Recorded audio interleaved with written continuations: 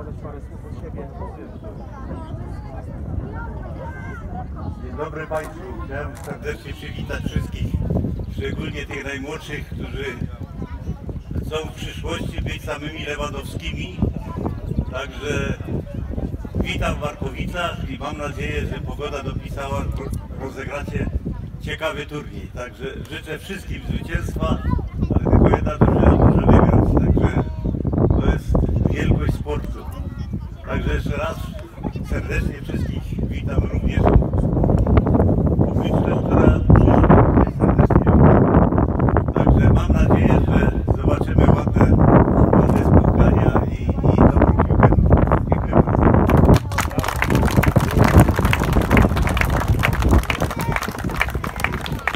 Także jesteśmy już po oficjalnym otwarciu. Ja teraz przedstawię, jak, będą, jak będzie wyglądała faza pucharowa